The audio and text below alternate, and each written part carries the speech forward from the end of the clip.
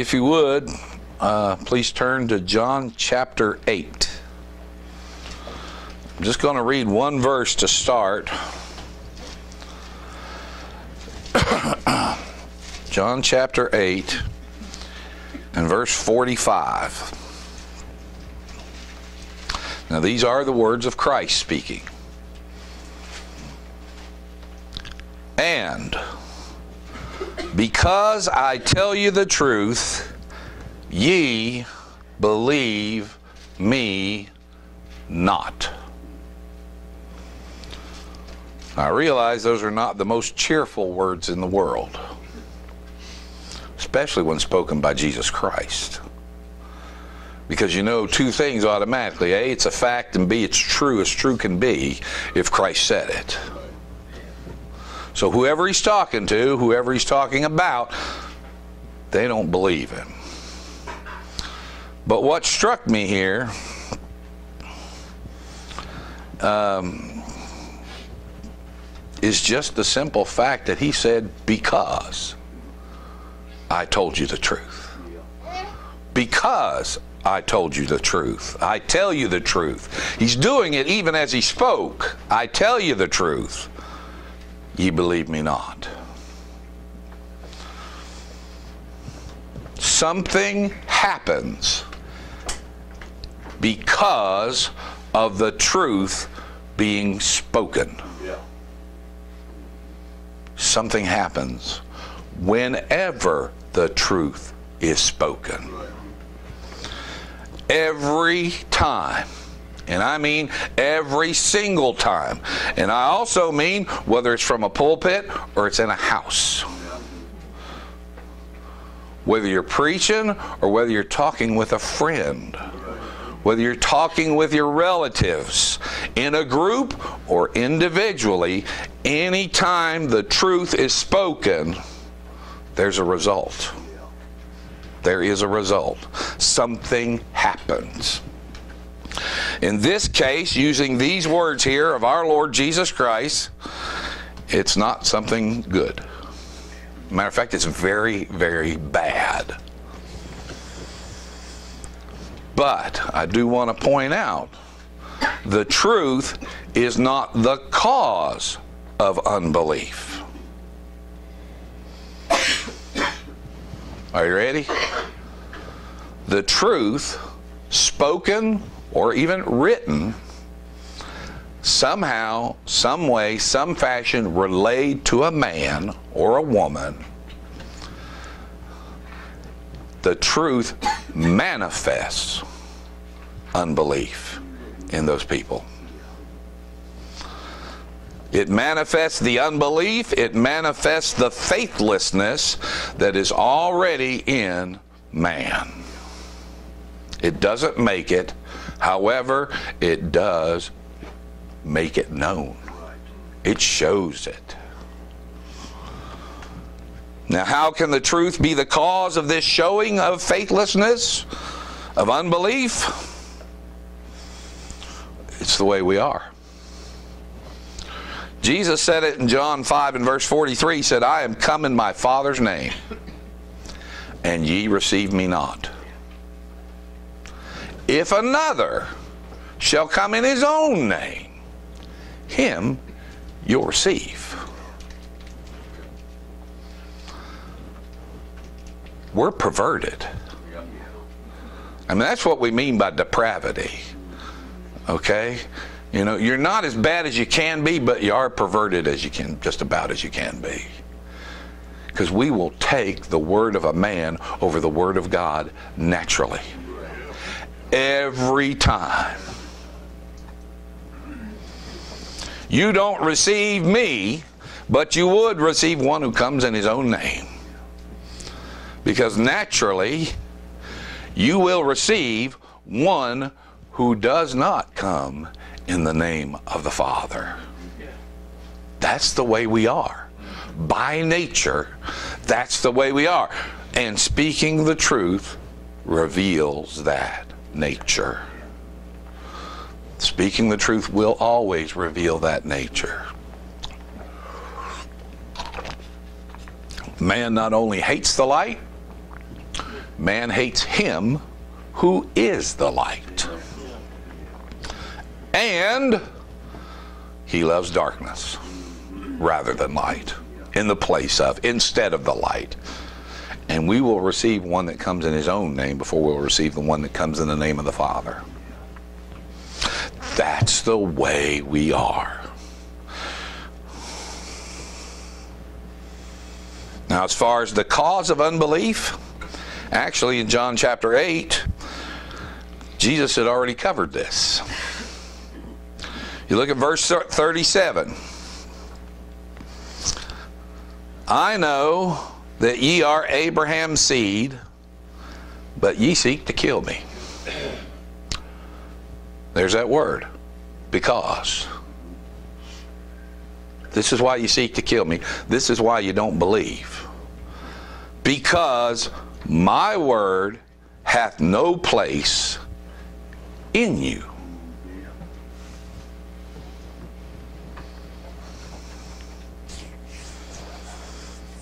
The problem is with us. The problem here, as Christ was speaking to these people, the problem was with them.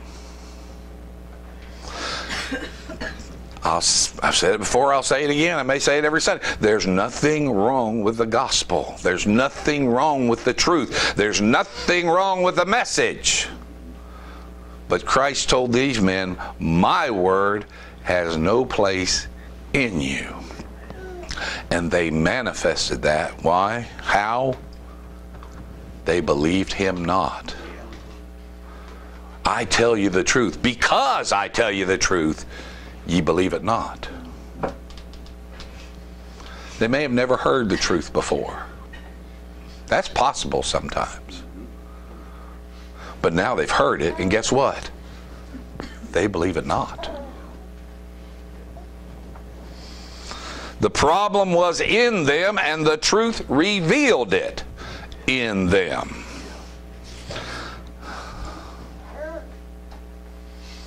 There's no place in you for my word. Just as the light makes known the darkness around it, the truth of Jesus Christ manifest shows, makes known the faithlessness of men. What did Paul write? All men have not faith. Therefore, you're persecuted. Therefore, they're against you. Therefore, what? They believe him not. They will not receive him. All men have not faith, and he also, Paul also wrote, the natural man cannot understand the things of the Spirit of God. Here's why Christ's word has no place in them, in the natural man. There is no place for the word of our Lord Jesus Christ. Something has got to change. These men were faithless.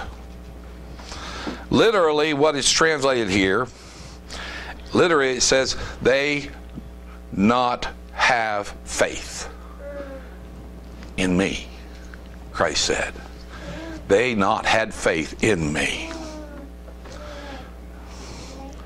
Again, in John 5, I'm going to look back there just for a minute, same sort of thing.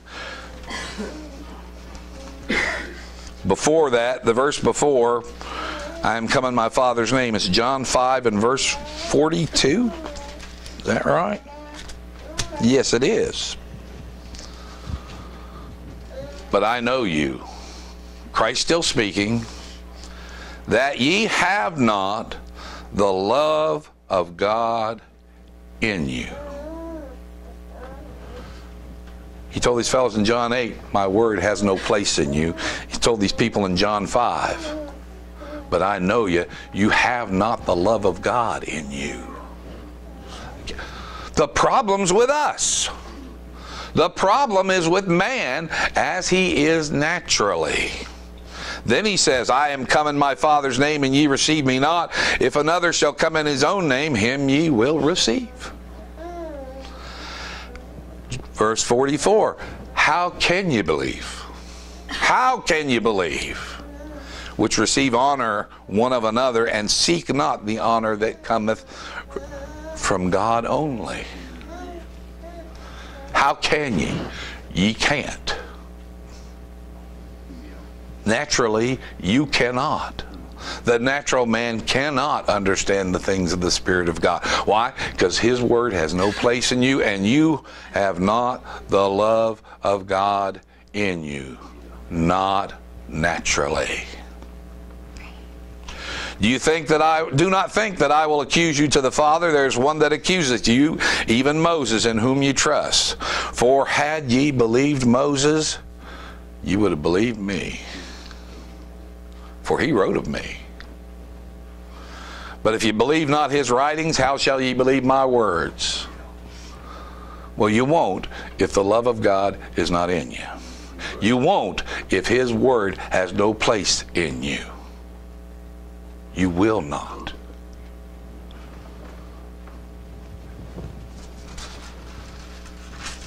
Back to John 8. Because I tell you the truth, what? Ye believe me not. This is extremely particular. Jesus Christ always was extremely particular. He says, Ye believe me not. This is the act of faithlessness. They believe not. You ever think about this? The wind and the waves obey him. But man doesn't. How perverse is that? The wind and the sea obey him. He spoke the world into being. But ye believe him not. People have this idea and they'll actually say it that sometimes we overemphasize the depravity in man. I don't know that you can. I'm not saying you're as bad as you can be, but I am saying you're about, you know, at one time we were all dead in our trespasses and in sins. We were all dead to God. This is what we have here. At one time, every single one of us, Christ's Word had no place in us. So rejoice if it does now rejoice if you believe him now. Because these men here, I mean, when Christ said this, Christ meant every single word of it. Ye believe me not. Yea, ye, these particular men had not the love of God in them. And these particular men had no place in them for God's word, not Christ's words. They have been told by the Son of God manifest in the flesh that they love darkness rather than the light. They've been told the truth. And they manifested that they hated the truth and the one who delivered the truth to them.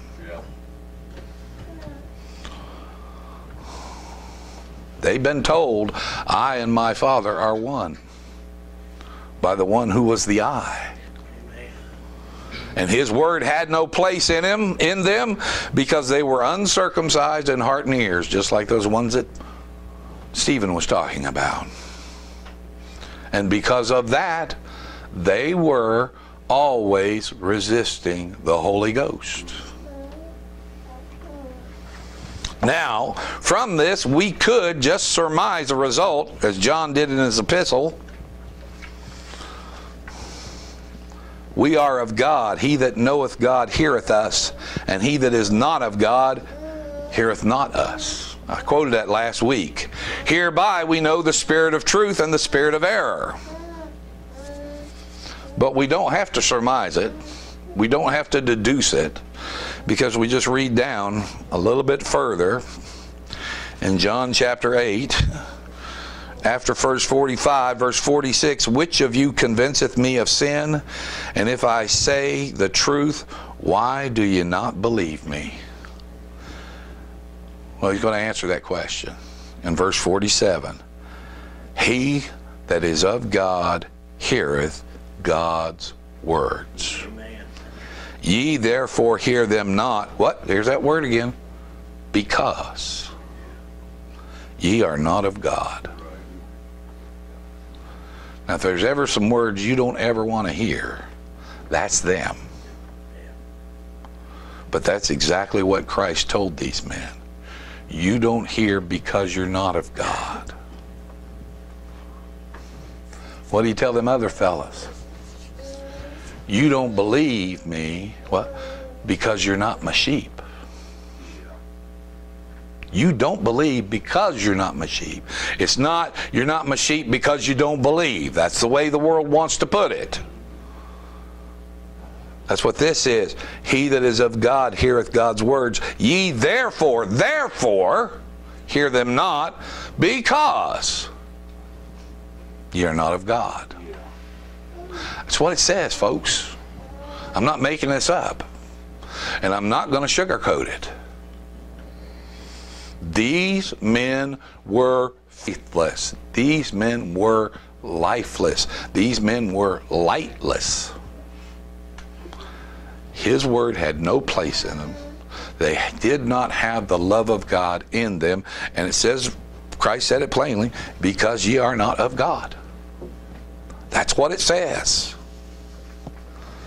This is one of the primary results of preaching the truth. There are always some that will not believe it. The lack is in man, not in Christ.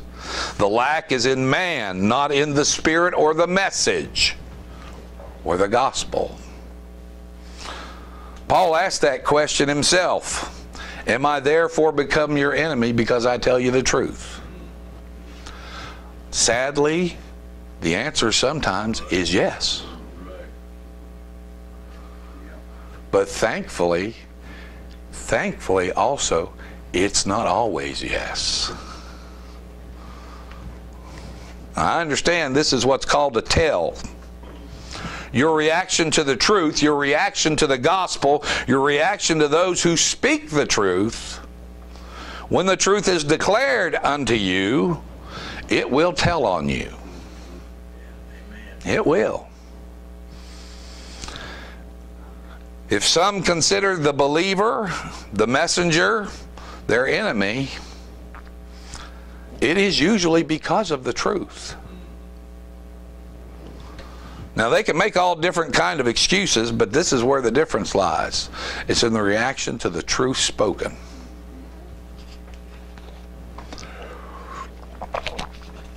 Our Lord Jesus Christ spoke the truth and nothing but the truth. So help me God. I feel like I'm swearing in for court. I don't know that I could now. But they tried to kill him. Thousands left him because he spoke the truth to them. Literally thousands. But thankfully, if we back up just a little more to the beginning, more toward the middle of actually this, in verse 30 of John chapter 8, there are others who had heard what he had said before and in verse 30, and and she, as he spake these words, many believed on him. Then said Jesus to those Jews which believed on him, If ye continue in my word, then are ye my disciples indeed. And ye shall know the truth, and the truth shall make you free. And some others respond and say, Oh, we're Abraham's seed. We've never been in bondage. They were lying already. When the truth is spoken, some believe and some believe not. That's it. Some believe and some believe not. He is the way, He is the truth, and He is the life. Christ said it in John 14, a little further on. I am the way, the truth, and the life. No man cometh unto the Father but by me. If you come, if you receive the truth, if you rejoice in the words of Jesus Christ, if you come, it's because He brought you. If you have the love of God in you, it's because He gave it to you. It's not there naturally. There is no divine spark that needs to be fanned by any preacher anywhere. There's no faith in you already that you just need to work up. No, all men have not faith. If you have a place in you for His Word, He put it there. He gave it to you. And He sent someone to you with His Word. And you believe His Word, His truth, His gospel. This is the two results of the truth being spoken to a man. And these are the only two results. You either believe or you believe not. There are four types of ground, but there's only two results. That parable of the sower. There's four types of ground, but there's only two results. Some believed and brought forth fruit, and the rest didn't. They may have believed for a while, but they brought forth no fruit. That's the lesson for the sower. Speak the truth. These are the results. Some believe and some believe not. These are the same results today as they were 2,000 years ago. God Himself chose this way of revealing His Son to His people. He is revealed, He is manifested, whether any believe Him or not. He is glorified, whether you believe Him or not. He has saved His people, whether you believe Him or not. But believe Him. Believe him. Believe him. He said, If ye continue, then are ye my disciples indeed. Amen. If you're told the gospel again, do you still believe it? Do you still love it? If you're told the gospel, do you want to hear more? Men will either believe him or not. There is no middle ground. Now, there are many different reactions in the rejections of men. This here, where Christ was speaking, this is the reaction of religious people. It is generally as violent as they can get away with because they perceive this as a spiritual threat. They don't perceive it as the truth, they perceive it as a threat to their way of believing the humanists, the secular, the irreligious, as they like to think they are, our Lord, our faith, our belief to them is foolishness. That's the way it is. But it's still just a rejection of Christ and His truth. There's only two results. You either believe or you believe not. It doesn't matter how you don't believe. That doesn't matter. It's just the fact that you don't believe. But there's only one way to believe him, and that is for him to put a place in you for his word. That is for him to get put the love of God in you. And guess what? He that is of God heareth God's words. That is a blessing from the Lord to every single one of his people. And it ought to give us some assurance. If you rejoice to hear his word, the truth preached, unvarnished and complete as we can, that should give you some assurance. If you love this, because trust me, I know there are thousands upon thousands, if not millions upon millions, who will not have this man to reign over them, and they don't even want to hear about this stuff.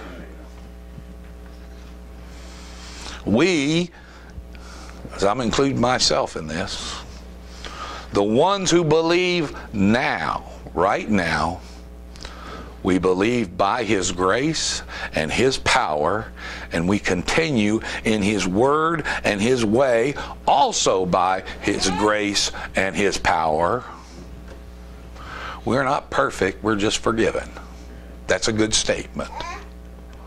We stumble, we trip, we fall, but we are not utterly cast down. We, by His grace, through His faith, continue. We believe now when the gospel is spoken to us. That's important. If you continue, then are ye my disciples indeed. His people do continue. His people do believe every day and rejoice in the gospel, in the truth. I'll tell you the truth and you believe it. Our Heavenly Father, we're thankful again for this time and this place. Thank you, Lord, for all that you've given to us. Thank you for the table we shared this morning and the fellowship we have here. Be with Walter as he comes to speak. And we'll give you all the praise and the honor and the glory because it is yours. Thank you, Lord. Amen.